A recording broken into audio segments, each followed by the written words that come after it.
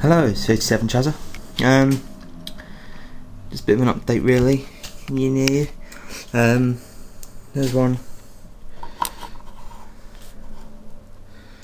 I've uh, nearly finished. Um, yeah.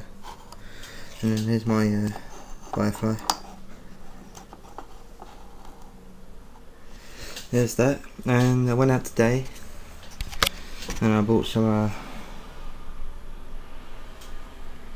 uh, what's it?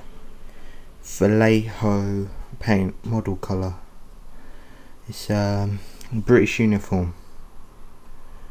Uh, English uniform. So I got that, and I also bought some of these as well. I bought two um, because it's my birthday soon. My mum bought two, so I've got four.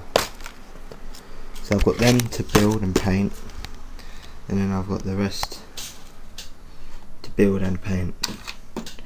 I'm missing one. Oh there it is. Oh my eyesight.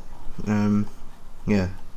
So I've got one, two, three, four, five and the other two six. So I've got six tanks. And then I've been looking at um, some more infantry for British as well. I might buy a um, rifle company.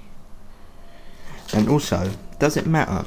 Say if I went to play a game, like those infantry down there are early.